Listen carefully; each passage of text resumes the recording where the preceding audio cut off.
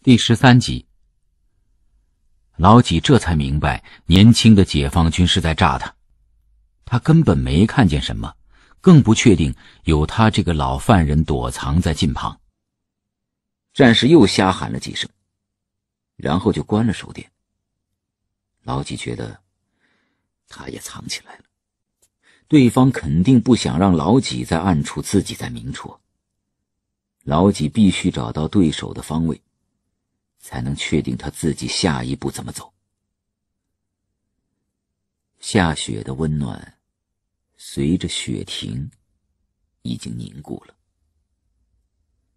老几汗湿的棉袄迅速结冰，一直冒着蒸汽的小澡堂子，此时成了一个生铁桶，箍在身上又冰又硬。就在老几差不多要被冻死的时候。他听见了一声划火柴的声音。对方把火光遮得再严，老几还是把他的方位认准了。他一点不知觉老几离他那么近，就在他的侧后方，近的能闻到他纸烟的味道。老几还看见这个战士趴在一个土包下，头缩在大衣的毛领子里，皮帽子的护耳把脸包得很严实。这样大概又过了半个小时，这个战士率先放弃了。他站起来，往左边走了一截，再往右边走了一阵。不久，就形成他的巡逻规律，那就是往左边走几分钟，再往右边走几分钟。此刻，老几的脑子里，就是七年前，女儿丹珏和他最后的对视。要是他不久之后饿死了，那他老几会好不甘，好不甘呢。他想知道自己的女儿现在长大了是什么样，是不是长成了一个像婉玉那样的？邓指导员和那么多不相干的人都见了女儿。这个生身的父亲为什么见不到呢？老几掐算着那个当兵的行动规律，他自己必须要在那个战士向右走的时候，从他的左边爬过去。此刻他的四肢已经冻硬，动作也被冻僵了。他爬得极其的缓慢。但是他没有算错。年轻的解放军战士转身往回走的时候，老几已经爬到了他的另一边。解放军抱着步枪，朝老几的方向看着，老几也看着他。然后解放军扭头向公路方向跑去，老几胜利的突围了，戒严圈被他落在了身后，他的两只脚。在雪地上，缓慢的、大幅度的一起一落，一肚子的羊下水都成了他的燃料。他开始在淹到大腿的积雪里奔跑起来。他滑稽的把脚踢得很高，高到膝盖离胸口只有几寸，再把脚深深的落回，很像后来的人们看到的登月的步伐，还不时的。碰到雪层下的沟沟坎坎，碰到了沟坎，老几便跌倒下去。跌倒也好，他可以顺势往前爬一阵。可不能再迟了，再迟连电影的尾巴都赶不上了。他跑的棉袄棉裤上的冰又化了，这回热蒸汽不单单从领口往外冒，他周身都在冒白烟。再一次跌倒。爬起，就看见厂部礼堂门口的煤气灯了。这一刻，后来被老几写下来，作为诗，作为散文，作为他好些文章的核心段落。那就是他看到灯火的时候，实在是走不动了，也实在太激动了，于是他不知怎么就在雪地里打起滚来。一片灯火倒着进入到了他的眼帘，成了天上的盛世。我六十岁的祖父在雪地里打滚的时刻，那种近乎气绝的欢乐，那种无以复加的疲惫，我是能想象的。在我的想象中，他像是一个活了的雪人，连滚带爬的往场部礼堂靠近，如同史前人类那样。此刻。对于他来说，火光的诱惑便是生的诱惑呀。他一定想到很多，也许想到他的一生是怎样跟妻子发生了天大的误会，把爱误会过去了。从横渡太平洋的游轮上走来的陆焉识，换上了纺绸长衫，身后。是对于他不再有用的自由。他的恩娘冯怡芳和妻子冯婉玉站在岸上，一个重复另一个，一样的香云纱旗袍，一样的发髻，一样的折扇，连眼睛的干枯程度都相仿。那是一个陪着另一个，期盼干了的眼睛。陆焉识走到他们中间，被自己的健壮和高大弄得很惭愧。他怎么可以在这样楚楚可怜的女子面前显得如此高大和健壮呢？让这些女人看见自己过剩的自由和营养造成的这种后果，他如何忍心呢？在往陆家的黄包车走的那一段路上，他收敛了。他含起了胸，收住了四处放眼的目光。恩娘在朝黄包车走的时候，渐渐恢复成了原先的恩娘，委婉被动，但什么都别妄想逃出他的掌控。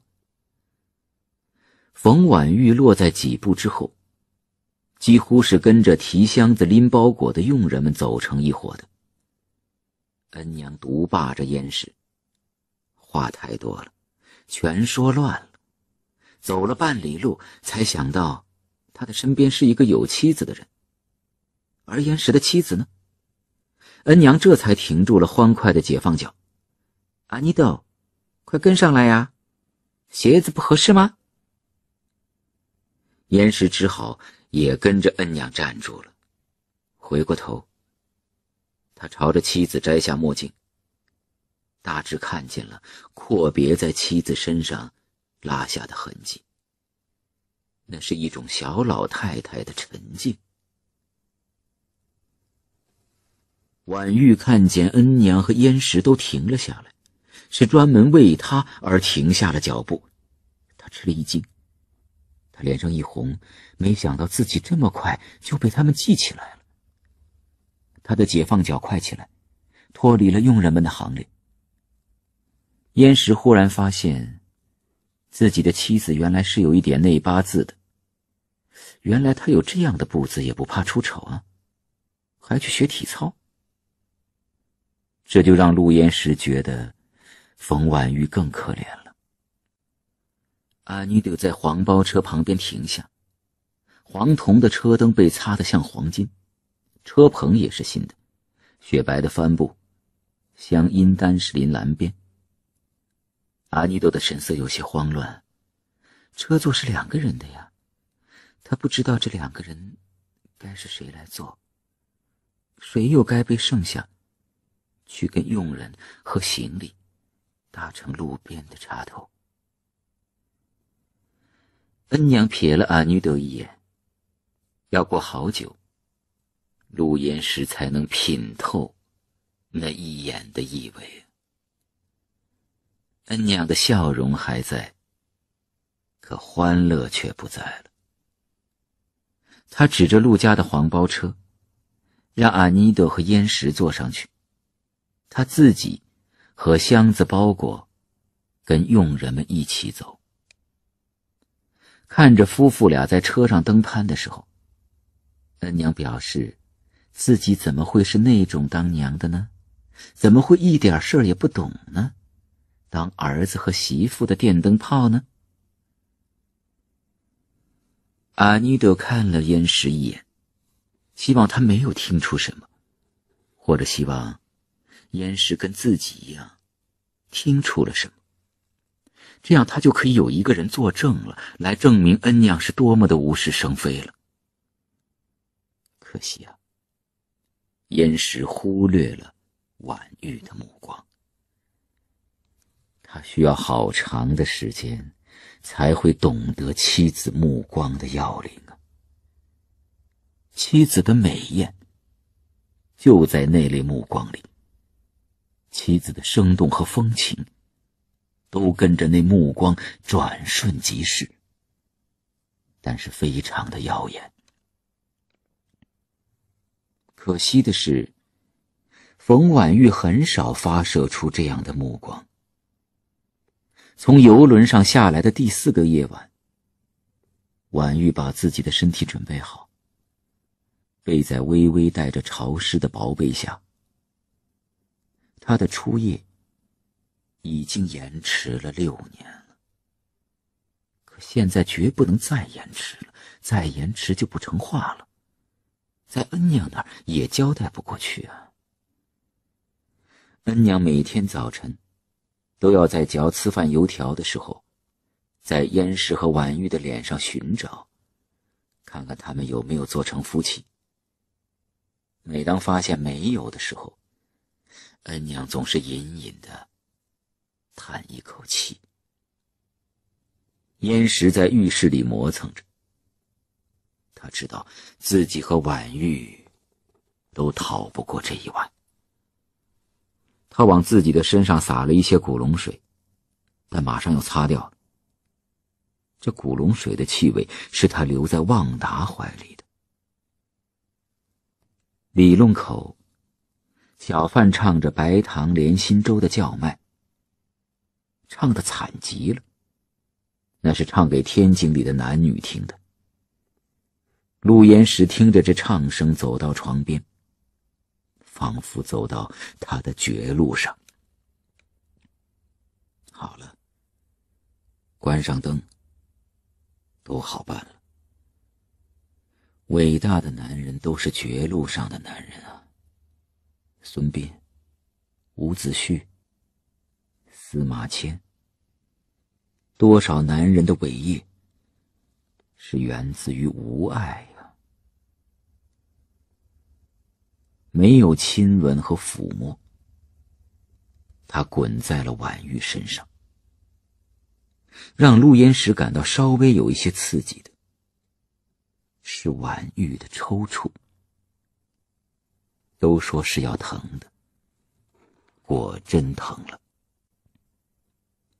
第二天，小夫妻起得很晚，他们像天下所有的洞房男女一样。舔着脸贪睡，婉玉成了真正的少奶奶，懒觉总还是睡得起的。恩娘坐在两碗冷了的泡饭旁边，问他们睡得好不好。这个世界上失去了一个处女和一个处男，恩娘自认为这就是他看见的。因此，他对于小夫妇睡眠的关怀询问是话里有话的。那就是原来呀，以为你们俩要神仙到底呢，可还是凡人肉胎呀。尤其是看见婉玉，他就更不放过了，眼睛像刀一样的在婉玉身上划。这下，你也见了吧，也不干净了吧。别再装着相敬如宾了，怎么快活的，谁不知道呢？恩娘的嘴上还微微的笑着，说：“早饭早就摆出来了，等他们都等凉了。”一个个的菜碟却在他的手里变了分量，摆到桌面，都是砰砰的响声。砰的一声，喏，这是新做的腐乳啊。阿妮都顶喜欢的。砰的又一声响，这是燕石好久没有吃的糟鱼啊。砰的又是一声响，这是前几天做的鱼冻，味道倒是越来越好了。燕石坐在八仙桌的正中，左边是恩娘，右边是婉玉，说着他一句也不想说的话。无碍使他第二个礼拜就去了大学。回国前他就收到了聘用合同，现在他看到办公桌和职位一样空着，等他来填。课程由他自己设计，科研科目也有他领衔。校园空荡荡的，中考刚刚结束，暑假刚刚开始。家不是他的，是恩娘和婉玉以及佣人的。那么他的家就在校园里了，甚至是在美国的会馆，在查理饭店，还有霞飞路、舟山路的几家咖啡馆。各个图书馆都是他的卧室。他阅读、写稿子和睡梦从来混成一片。美国的留学生朋友圈子似乎直接就搬回了这些地方，只是换了场景而已。大家的做派。因为回到了中国，反而更加美国起来，连笑话都跟回来了，爵士调子也跟着回来了，只是乐手的面孔和颜色不同。对所有人来说，喜爱陆焉识是太容易的事情。好模样，好性情，给他一记小亏吃，他总是舒服的吃尽。无论谁拿来一个瓷瓶或者是画轴，稍加怂恿，就会在陆焉识这里成交。相中焉识的贵重钢笔啊，或者是太阳镜啊，也很好办。几个人设个局，诓他玩一把，一阵嘻嘻哈哈，就会让他输掉这些笔或者是眼镜。因此，会馆或学校的这个 miss 那个 miss 都宠着焉识。把燕石宠成了一个七尺的大毛头。回到恩娘和婉玉的家，他倒是常常坐立不适了。不知什么时候，一辆五成新的轿车替掉了黄包车，他还添了一个女儿。燕石想，这一下彻底落在天井里了。有了孩子啼哭和奶气的房子，更不是他的家了。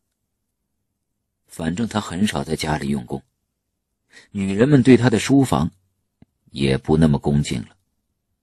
冬天放一个大火盆，外面罩一个更大的铁丝罩，书房就成了尿布的烘箱。燕氏有时会感到一阵的惊慌啊，因为他有时候一转脸。怎么连婉玉的模样都不记得了？而他录音时是有着照相一般记忆力的人呢？这无爱成全了多少男人呢？也会成就他录音时吗？就是在公共租界一个奥地利的咖啡馆里，录音时。碰到了大卫维。大卫维已经不是他在美国的样子了，西装像是昨晚做过的睡衣，一张长方的脸瘦成了橄榄形。这个脸型如果搁在女人身上，倒是不难看的，但是搁在男人的身上就显得阴气逼人。算算这个人还不到三十，而眉心的皱纹，仿佛有六十多岁。并且这皱纹，经常为着非个人的伟大的愁苦，而紧紧的锁着。陆焉识问大卫：“怎么样，还好吗？”他看出不好来了，因为此刻大卫为很饿呀，把左咖啡的奶油都用小勺一点一点的喝光了。大卫用美国余下的那点直白说：“不好。”因为他一年多都没有工作了。